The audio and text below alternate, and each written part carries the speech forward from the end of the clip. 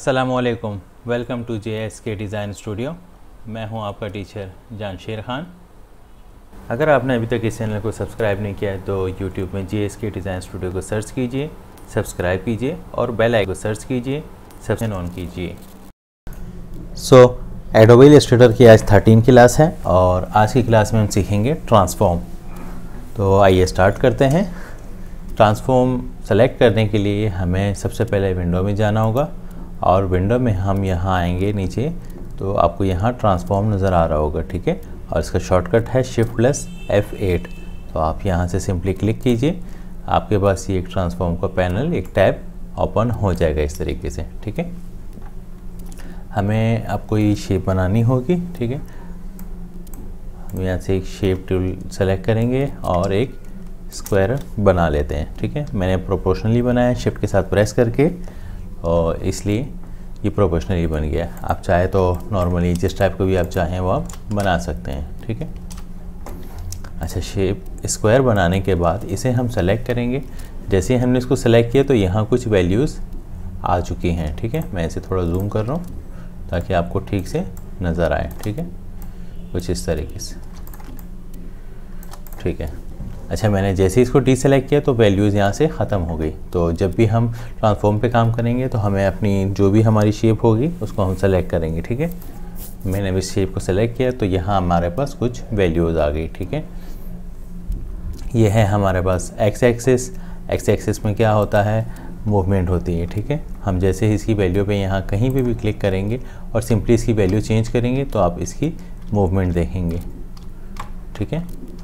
अच्छा वैल्यूज़ मेरे पास इस वक्त यहाँ इंचज़ में है, ठीक है? आप चाहें तो आप अपनी वैल्यूज़ चेंज कर सकते हैं पॉइंट्स में रख सकते हैं पिक्सल्स में रख सकते हैं मिलीमीटर में, कहीं किसी भी वैल्यू में जिसमें आपको वैल्यू चाहिए हो, वो आप अपने अकॉर्डिंग रख सकते हैं, ठीक है? तो मैं फ़िलहाल इसे पॉइंट्स में कर देता हूँ, ठीक है? ये हमारे पास पॉइंट्स है और आप चाहें तो पिक्सल्स भी कर सकते हैं, जो आपकी रिक्वायरमेंट हो, उसके अकॉर्डिंग आप कर सकते हैं। अगर आप कोई वेब वगैरह के लिए काम कर रहे हैं तो उसके लिए हमें पिक्सल सेलेक्ट करना होगा, ठीक है? अब मैंने पिक्सल सेलेक्ट किया, ठीक है? ये हमारे बॉक्स का साइज़ यहाँ शो हो रहा है, ठीक है? विड है हमारे पास वन हंड्रेड एटीन ठीक है? हम इसको अगर नॉर्मली लिख देते हैं वन ट्वेंटी और हाइट इसकी हम कर देते हैं वन ट्वेंटी ठीक है? ये हमारे पास one twenty by one twenty का एक स्क्वायर बन चुका है, ठीक है? ये हमारे पास एक्स एक्सिस है। एक्स एक्सिस में क्या होता है? हम जैसे ही इसकी वैल्यू ऊपर की तरफ़ बढ़ाएँगे मतलब ज़्यादा करेंगे तो ये राइट साइड की तरफ़ मूव होगा, ठीक है? और अगर हम इसकी वैल्यूज़ को कम करेंगे, नीचे वाले एरो की प्रेस करेंगे कीबोर्ड से तो आप देखेंगे इसकी वैल्यू जो है इसकी मूवमेंट मतलब ये लेफ़्ट साइड की तरफ़ मूव होना स्टार्ट हो जाएगा, ठीक है? इसी तरीके से है हमारे पास वाई एक्सिस वाई एक्सिस की वैल्यू जैसे ही हम बढ़ाएँगे तो ये नीचे की तरफ़ स्क्रॉल होगा, ठीक है?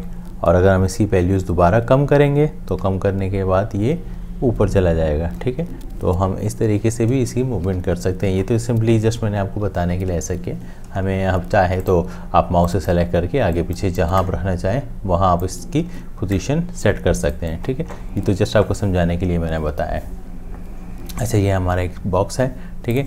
बॉक्स का साइज़ हमारा one twenty by one twenty है। यहाँ से हम इसका एंगल चेंज कर सकते हैं। डिग्री हमारे पास ज़ीरो परसेंट है, आप जितना चाहें ऊपर वाले एरो की प्रेस करेंगे तो ये लेफ़्ट साइड की तरफ़ रोटेट होगा, ठीक है? क्योंकि डिग्रीज हमारे पास वैल्यू जो है इसकी वो बढ़ रही है, लेकिन अगर इसकी वैल्यू कम करेंगे तो ये हमारे पास नीचे की तरफ़ रोटेट होगा, ठीक है? आप चाहें तो फिर ये माइनस में भी वैल्यू और अगर आपके पास कोई सेलेक्टेड वैल्यू है, जैसे फॉर एग्ज़ाम्पल मेरे पास है minus forty five minus forty five लिखूँगा तो ये खुद माइनस फोर्टी फाइव पे आ गया, ठीक है? अच्छा यहाँ मैं एक और चीज़ ऐड करना चाहूँगा। मैं दोबारा से एक सर्कल बनाता हूँ। 120 ट्वेंटी बाई वन ठीक है? अच्छा ये हमारा सर्कल है। फॉर एग्जांपल हमें अगर कोई साइज़ प्रोपोर्शनली बड़ा करना है तो हमें उसके लिए यहाँ चेन पे क्लिक करना होगा। वो आपको पता भी है ऑलरेडी बट मैं यहाँ ऐड करते चलूँ कि अगर हम यहाँ से इसको अनचेक करते हैं और वैल्यू चेंज करेंगे तो अगर यहाँ से हम जस्ट एरो की अप वाला प्रेस करेंगे, ऊपर वाला तो आप देखेंगे कि ये जस्ट विथ बढ़ाएगा यहाँ से, ठीक है? और नीचे करेंगे तो वेथ कम होगी। इसी तरह हाइट में भी है अगर हम इसकी हाइट बढ़ाना चाहें तो हम ऊपर वाला एरो की दबाएँगे तो उस पर हाइट बढ़ेगी, और नीचे वाला एरो की जब प्रेस करेंगे तो उसकी हाइट कम हो जाएगी, ठीक है? और अगर प्रोपोर्शनली अगर हमें कोई साइज़ चाहिए होगा तो अब मैं यहाँ इस पर चेक लगाता हूँ। उसके बाद मैं यहाँ की वैल्यू 158 कर रहा हूँ। जैसे ही मैं नीचे वाले टैप पे आऊँगा, वो ऑटोमेटिकली 150 यूज़ हो जाएगी, क्योंकि ये दोनों ले मतलब साइजेस जो है हाइट और वेट दोनों वैल्यूज़ जो है, ये आपस में लिंक है, ठीक है? तो अगर यहाँ पे चेक नहीं होगा तो आप चेक खुद से ऐड कर सकते हैं इसमें, ठीक है? अच्छा इसके बाद फिर मैंने डिग्री का भी आपको बता दिया। अच्छा ये डिग्रीज मतलब रोटेशन जो है, रोटेशन अगर आपको करनी होगी, यहाँ आपको एरो की एक नज़र आ रहा है, ठीक है? इस एरो की भी अगर आप क्लिक करेंगे तो यहाँ मज़ीद इसमें कुछ वैल्यूज़ है, ठीक है? आप कोई सिलेक्टेड वैल्यू लेना चाहें तो आप वो यहाँ से सेलेक्ट कर सकते हैं थर्टी डिग्री। और अगर 240 चाहिए तो 40 माइनस में है तो ये इस तरीके से हो सकती है, ठीक है? ऐसे एंडू कर रहा हूँ। अच्छा इसके बाद बराबर में है हमारे पास नेक्स्ट जो है, वो है शेयर टूल शेयर टूल का ऑलरेडी मैं आपको बता चुका हूँ स्केल वाले टूल में स्केल की जो क्लासेस थी, उसमें स्केल टूल भी था शेयर टूल भी था और शेप टूल भी था, ठीक है? तो अब मैं यहाँ से दोबारा से चलो रिपीट कर देता हूँ कि अगर हमें इस बॉक्स को आगे की तरफ़ मूव करना है, सिर्फ़ इसकी टॉप और बॉटम लेफ़्ट और राइट right नहीं। टॉप और बॉटम को अगर हम मूव करना चाह रहे हैं, आगे की तरफ़ करना चाहेंगे तो यहाँ क्लिक करके हम वैल्यूज़ इसमें ऐड करेंगे, ठीक है? ऊपर और एलो की करेंगे तो वो खुद ब खुद राइट साइड की तरफ़ मूव होना शुरू हो जाएगा, ठीक है? और अगर हमें लेफ़्ट साइड की तरफ़ इसकी रोटेशन चाहिए तो हम इसे डाउन वाला मतलब एरो की प्रेस करेंगे। ये हमारी एक्चुअल पोजीशन है। अब मज़ीद मैं डाउन प्रेस करूँगा। तो ये देखिए लेफ़्ट साइड की तरफ़ मूव हो रहा है, ठीक है? इसकी रोटेशन लेफ़्ट साइड पे हो रही है। तो शेयर टूल का बेसिकली यही काम है कि हम टॉप बॉटम इसको एडजस्ट कर सकते हैं अकॉर्डिंग टू आवर रिक्वायरमेंट और इसके बाद मज़ीद इसमें भी वैल्यूज़ है। अगर आपको यहाँ से सेलेक्टेड वैल्यूज़ लेने चाहे माइनस थर्टी तो ये माइनस का मतलब बैकवर्ड ठीक है?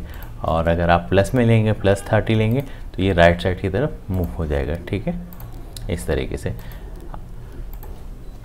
अच्छा इसके बाद एक और मज़ीद इसमें हमारे पास है। हम्म, हाँ मज़ीद हमारे पास नीचे इसमें स्क्वायर के रेक्टेंगल प्रॉपर्टीज़ है ठीक है? उसमें क्या काम होता है? यहाँ आपको एरो की नज़र भी आ रहा होगा कि यहाँ से इसकी वेट बढ़ेगी और ये है हमारे पास हाइट ठीक है? तो अगर ये लिंक है तो प्रोपोर्शनली अगर हम इसको बढ़ाएँगे तो ये प्रोपोर्शनली बड़ा हो जाएगा। जैसे कि हम, मैंने आपको यहाँ बताया वैल्यूज़ प्रोपोर्शनली बड़ी होगी और वैसे ही ये भी है, यहाँ से कम होगी और ज़्यादा होगी। और यहाँ से भी हाइट कम होगी और ज़्यादा होगी, ठीक? लेकिन ये अभी लिंक है तो इस वजह से प्रोपोर्शनली हो रहा है। अगर मैं जस्ट अनलिंक करके इसको अब बढ़ाऊँगा तो जस्ट इसकी वेट बढ़ेगी, ठीक है? और मैं इसकी अगर इसको बढ़ाऊँगा तो ये हमारे पास हाइट है, ठीक है? तो मैं इस तरह हाइट भी एडजस्ट कर सकता हूँ। ट्रांसफॉर्म टूल में कुछ ज़्यादा ऑप्शंस नहीं है बट जो थोड़े बहुत है, उसके बारे में बताता चलूँ। ये है रोटेशन टूल यहाँ पे जैसे मैंने बताया रोटेशन टूल यहाँ से हम कोई भी डिग्री इसकी चेंज कर सकते हैं, ठीक है? और अच्छा इसमें एक और चीज़ है, जो कि अच्छी है प्लस पॉइंट है, वो ये कि अगर हमें इसके, इस स्क्वायर के कॉर्नर्स को राउंड करना हो तो सिंपली हम क्या करते हैं, हम इसे सेलेक्ट करते हैं डायरेक्ट सिलेक्शन टूल सेलेक्ट करके ये हमारे पास फोर जो पॉइंट्स हैं इसके, इसको हम पकड़ के नीचे की तरफ़ ड्रैग करते हैं। तो ये इस तरीके से चारों कॉर्नर्स राउंड हो जाते हैं, ठीक है? लेकिन यहाँ पे आप देखिएगा, यहाँ पे चारों वैल्यूज़ डिफरेंट है। आप कोई एक पार्ट करना चाहें, वो भी कर सकते हैं। वो हम डायरेक्ट सिलेक्शन टूल से भी कर सकते हैं।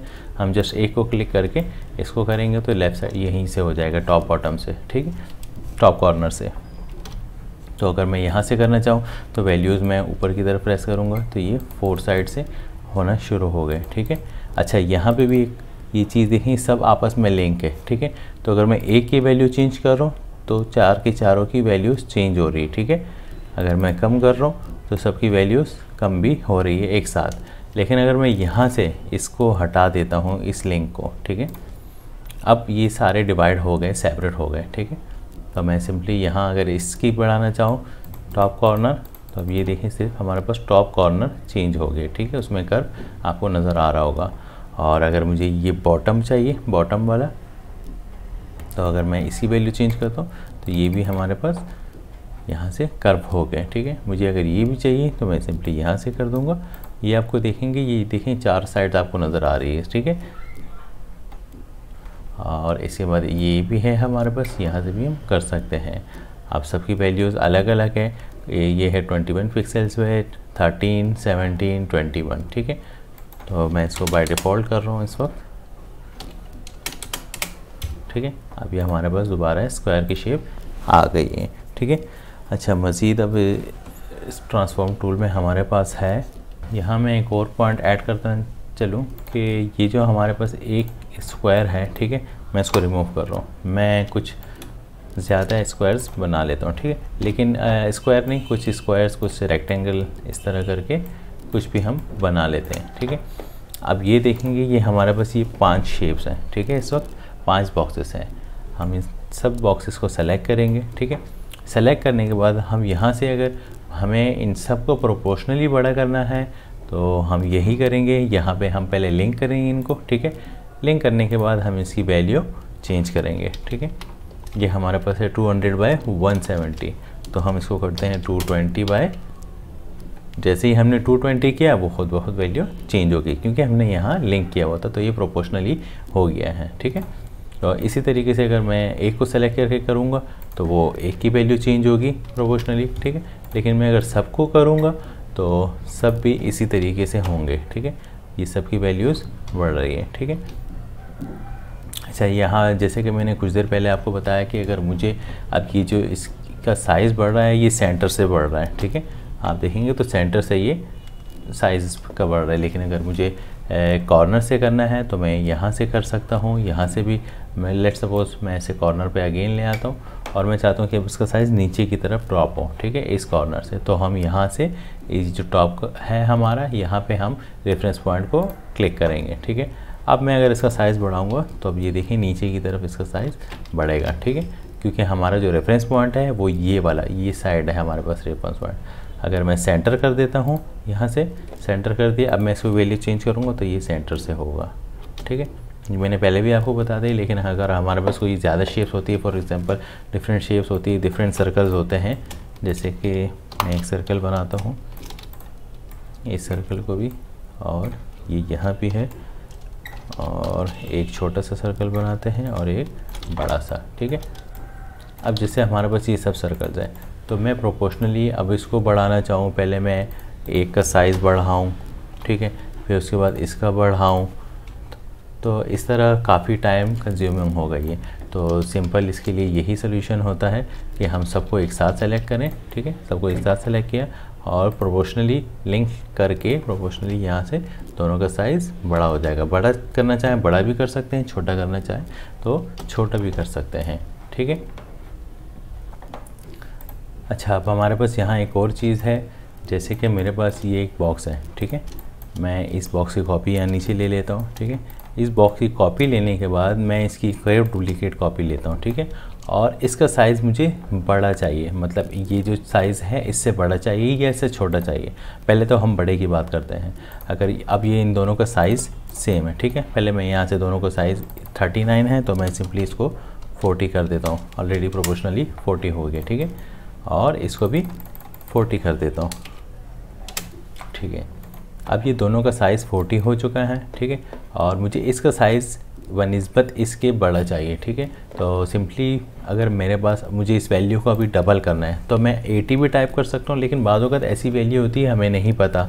जैसे कि फॉर एग्ज़ाम्पल 139 है, ठीक है? 139 में 139 अब हमारे पास ये है, ठीक है?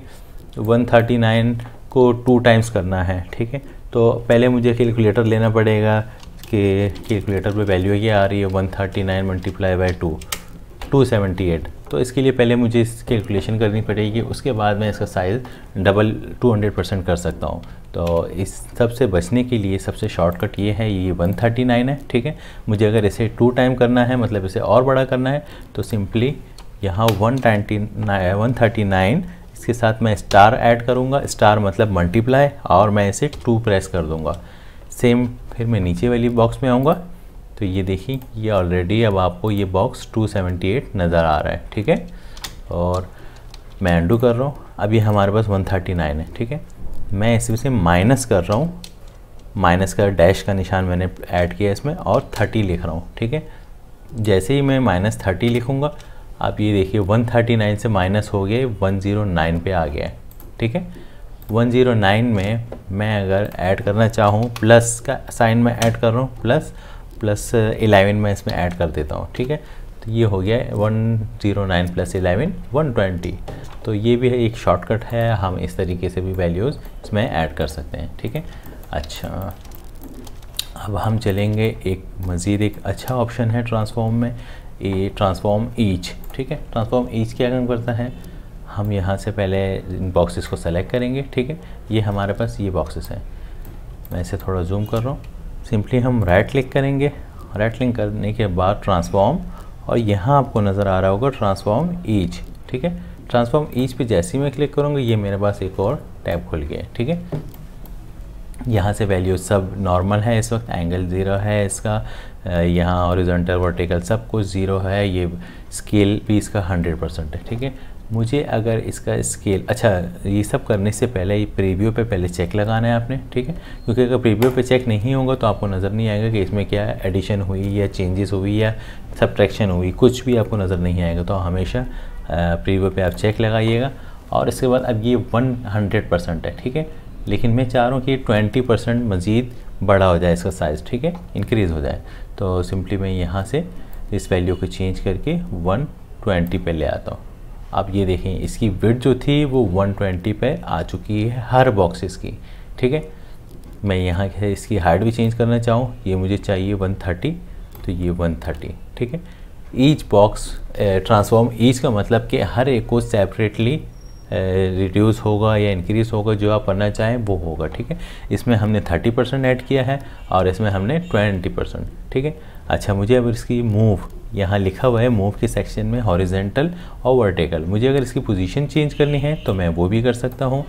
मैं अगर इस वैल्यू को आगे की तरफ़ ड्रैग करूँगा तो ये देखें, ये अपने पोजीशन से चेंज होके राइट साइड पे आ गए हैं, ठीक है? मैं जितनी वैल्यूज़ बढ़ाता जाऊँगा, ये पोजीशन चेंज करता जाएगा।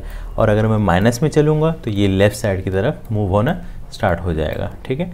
इसी तरीके से वर्टिकल है। वर्टिकल में भी अगर मैं इसमें प्लस करूँगा तो ये नीचे की तरफ़ आएगा, जैसे कि एक्स वैल्यू होती है और वाई वैल्यू होती है, ठीक है? लेकिन अगर मैं बैक पे जाऊँगा लेफ़्ट साइड की तरफ़ तो ये ऊपर की तरफ़ मूव होना शुरू हो जाएगा, ठीक है? तो हम इसकी वैल्यू को मैं इस वक्त बाई डिफ़ॉल्ट कर रहा हूँ। अच्छा एक और चीज़ यहाँ पर है रोटेशन रोटेशन में हम इसकी वैल्यू अगर मतलब हर एक को हमने सेपरेटली करना है तो सिंपली यहाँ पे हम इसकी वैल्यू चेंज कर देते हैं। अब ये देखिए, हर एक सेपरेटली यहाँ से हो गए अभी एक दूसरे के ऊपर आ रहे हैं तो इसके लिए हमें इसका साइज़ छोटा करना होगा, ठीक है? साइज़ छोटा करने के लिए पहले मैं इसे नॉर्मल हंड्रेड परसेंट पर ले लेता हूँ और इसे भी हंड्रेड परसेंट पे। ये ज़ीरो ये ज़ीरो डिफ़ॉल्ट वैल्यूज़ हमारे पास ये थी, ठीक है? अब मैं इसकी एंगल इसका चेंज कर रहा हूँ, ठीक है? मैं जैसे ही एंगल चेंज कर रहा हूँ ये आप देखें एंगल इसका चेंज हो रहा है। मुझे जिस पोजीशन पे चाहिए होगा, मैं कर सकता हूँ, ठीक है? अगर मैं माइनस में करना चाहूँ तो मैं लेफ़्ट डाउन वाला एरो प्रेस करूँगा तो आप देखेंगे ये माइनस में सारे सेपरेटली रोटेट हो रहे हैं, ठीक है? तो मैं अभी इसको ओके कर देता हूँ। आई होप आज की क्लास आपको पसंद आई होगी। इंशाल्लाह अगली क्लास के साथ फिर हाजिर होंगे। तब तक के लिए अल्लाह हाफिज़।